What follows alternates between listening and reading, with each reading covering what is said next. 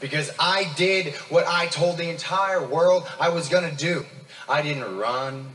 I didn't hide.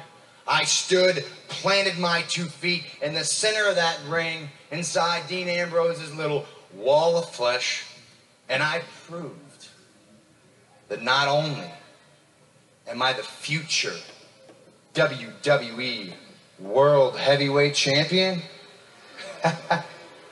but I'm the future of the entire WWE.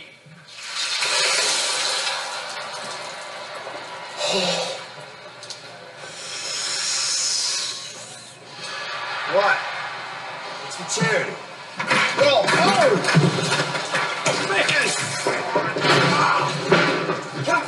Look at this. Dean Ambrose assaulting Rollins. Whoa. Come on.